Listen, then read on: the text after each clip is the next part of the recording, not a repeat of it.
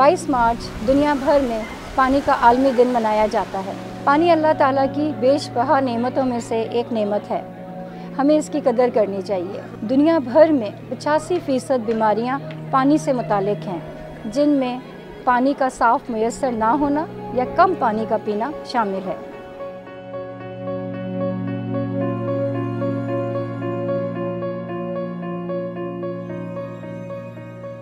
साफ़ पानी का हसूल हर फर्द का बुनियादी हक है, लेकिन पाकिस्तान के शहरों और कस्बों में साफ़ पानी तक रसाई रोज बरोज मुश्किल होती जा रही है।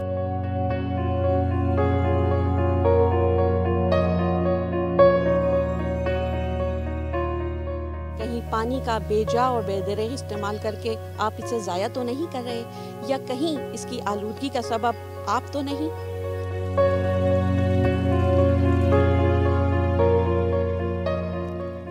करकट खुले मैदानों और नदी नालों में फेंकने से माहौलियाती आलूदगी होती है, बल्कि साथ साथ कई बीमारियाँ जन्म लेती हैं।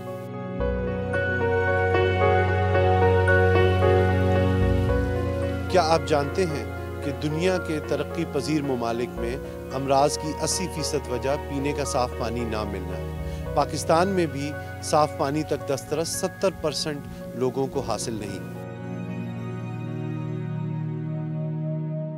2011 से अब तक पाकिस्तान में पानी की दस्तियाबी 5000 क्यूबिक मीटर से कम होकर 1500 क्यूबिक मीटर रह चुकी है।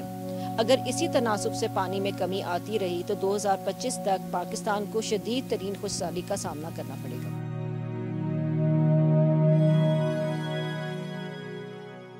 पाकिस्तान के देही इलाकों में पानी के हसूल के लिए खवतान और बच्चों को रोज़ाना तीन से चार किलोमीटर का फासला तय करना पड़ता है।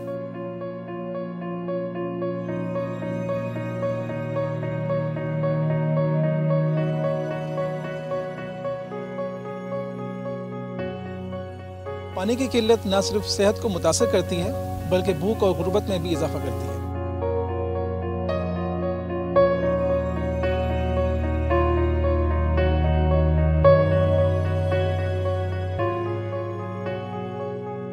आइंदा नस्लों का मुस्तकबिल हम सब के हाथ में। Safe water safe Pakistan.